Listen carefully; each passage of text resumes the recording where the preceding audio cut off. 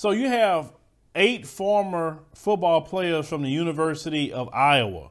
They are demanding $20 million in the firing of Coach Kirk Ferentz over the racial discrimination they encountered while playing uh, for the University of Iowa.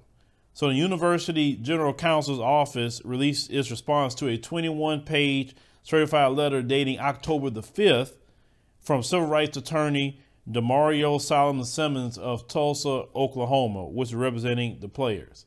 Now, of course, they said they will decline the monetary and personnel demands they have from the letter. So the players also called for the firings of offensive line coach Brian Ferentz, Kirk's son, as say, and athletic director Gary Barta.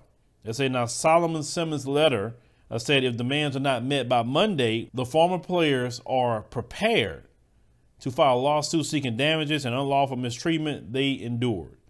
Now, he said they didn't respond, the attorney didn't respond to uh, the Associated Press, which is good that they didn't do that. It said the players say that they were prepared to proceed the lawsuit to ensure they are rightfully compensated for their emotional, mental, and bodily damages, and that Iowa is appropriately held accountable for its unlawful discriminatory misconduct. So say the former players are Akrum Wadley, Aaron Mends, Jonathan Parker, Marcel Joly, Maurice Fleming, Reggie Spearman, Kevonte Martin Manley, and Andre Harris. So the brothers are saying that they were treated completely, you know, discriminatory at this college. And they recruited them to go to this college. They didn't beg these people to get in their college because every time our young brothers are out here, they, they just couldn't can't wait to they fawning over to get these brothers to their college. That's the reason their colleges are where they at. Because if, if all the brothers would just stop going to PWIs and say, you know what, we're going to go play football at HBCUs, let's say those programs would, would, would tank overnight. And we know this. And the only reason why brothers and sisters go to these colleges is because they offer them full ride scholarships. And the HBCUs got to figure out a way to offer full ride scholarships to our children so they can compete with the PWIs. So he said the athletic department is they cut ties with long-time strength and conditioning coach Chris Doyle, who received 1.1 million in severance agreement. It said several players accused Doyle of using racial slurs when addressing them. Of course, he said he didn't do that. As a Brian Ferentz also alleged to have been abusive to players as well. Now, this Chris Doyle guy was making $800,000 per year. He was the highest paid strength and conditioning coach in college football. Now, they said former Iowa offensive lineman James Daniels, who's with the Chicago Bears, was the first to raise the issue of Iowa staff treatment of players. He said there's too many racial disparities in the Iowa football program. He said black players have been treated unfairly, and say for too long, is what the brother said. They said former Iowa linebacker Terrence Pryor said Doyle had told him that he should take up rowing. Then he said, "Oh wait, black people don't like boats in water." He said, "Do they?" That's what he told the brother. Now he said former safety Diauntae Morrow he said, said that Doyle told him he was sending him back to the ghetto. As a former defensive back, Emmanuel uh, Rugamba uh, said that Doyle admonished a black teammate and then asked him why he walked with swagger. He said, then he told him, I'll put you back on the streets. Uh, Doyle told another teammate. And, and the brother explained, he said that the kid comes from a happy home with both parents. You know, trying to think that all black kids come from single parent households. That's just not true whatsoever. When you know we went to drop our daughter off at college um, and everything, I've seen a lot of uh, mom, mothers and dads together. So not every black child that grows up is in a single parent household. You know, but if you listen to freaking Fox News and any propaganda that the Bazungus put out, what you expect? The report said that many black players did not feel welcome or supported by the program. As the players reported that they were long not allowed to wear do rags, tank tops, earrings, and other jewelry in the football building, and were discouraged from getting tattoos or having certain hairstyles. A black player said, and said they felt singled out, isolated, and forced to suppress their personalities. They say Ferentz eliminated rules on jury and hats and instructed the staff not to critique hairstyles or tattoos last year after an athletic department review raised racial bias concerns.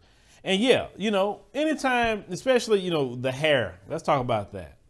They are so threatened by black hair. Like, you know, it's, it's weird. You know, I mean, if you really think about it, it's beyond weird and just loony that you feel threatened by somebody else's hair on their head. Not your hair, their hair. I don't care what somebody do with their hair, it has nothing to do with me.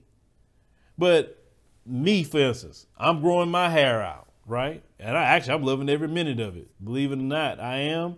Um, I like the versatility of what I can do with my hair now. Definitely as it keeps growing, I'm like, man, why didn't I do this sooner? You, you know what I'm saying? Um, grow my hair out.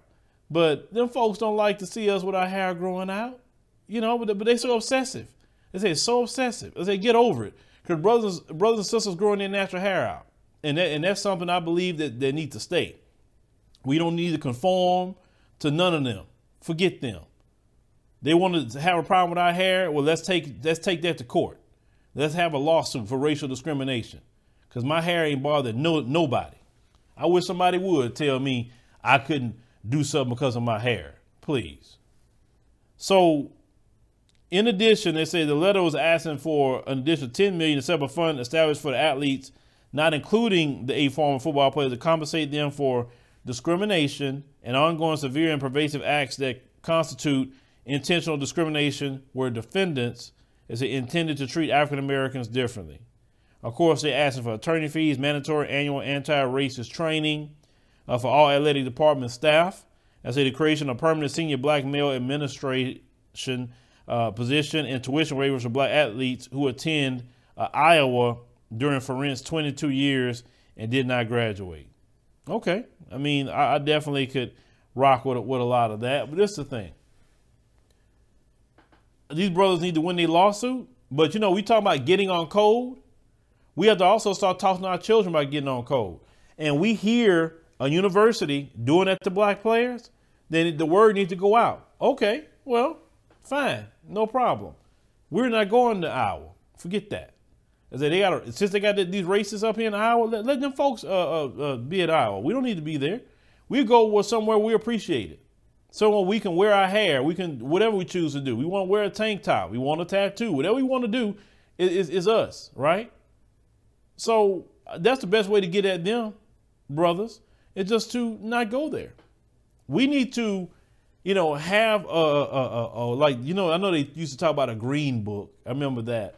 Um, but you know, to you know, other people have tried to do that, and oh boy, it, it's a backlash to that even in this day and time, when you let's say you have a website, let's say you create a website and say, look, stay away from these colleges, stay away from this particular areas in the city, stay away from these particular businesses, and here's why. You know, oh boy, they're getting their feelings because you know you're calling them out and you just telling black folks, hey, just stay away from there. You're not telling them do nothing more than that.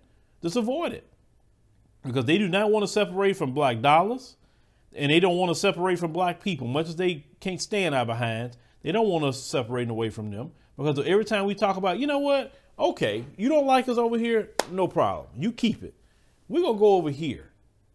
Well, why you want to do that? Isn't that reverse uh, uh, racism? Isn't that like uh, uh, segregation? I mean, Martin Luther King fought against that, and now you guys want it back?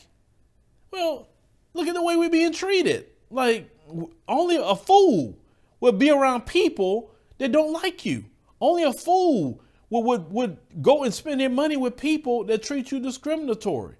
Only a fool would continue to go and play football for a university that don't have a good intention for black folks.